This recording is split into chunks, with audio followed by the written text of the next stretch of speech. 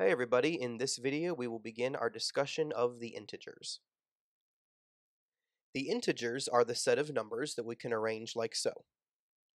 The three dots at either end of this list are known as ellipses, and they are a placeholder for all of the numbers that we cannot write down on this list since the integers extend in either direction forever.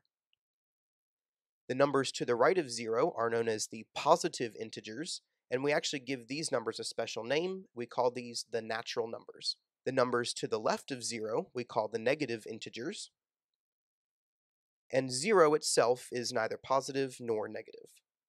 When discussing the size or value of one integer in relation to another, we have six different mathematical symbols that we use to denote this comparison. These six symbols are equal to, not equal to, greater than, greater than or equal to, less than, and less than or equal to.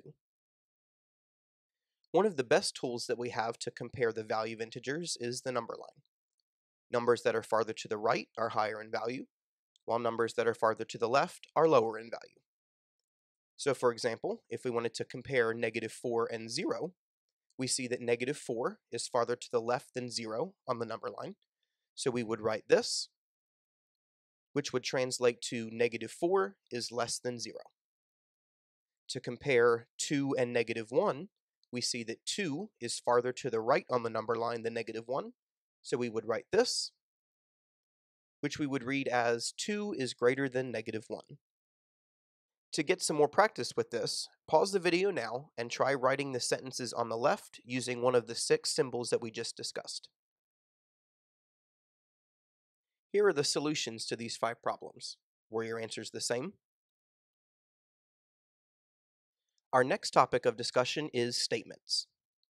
A mathematical statement is a declarative sentence that is either true or false.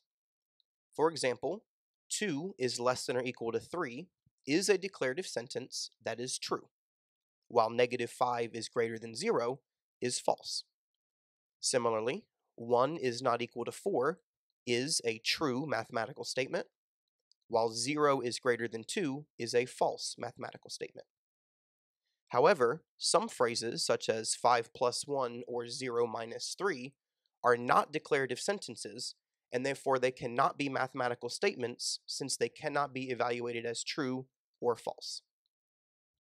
To get some more practice with this, pause the video now and try determining if the following statements are true or false.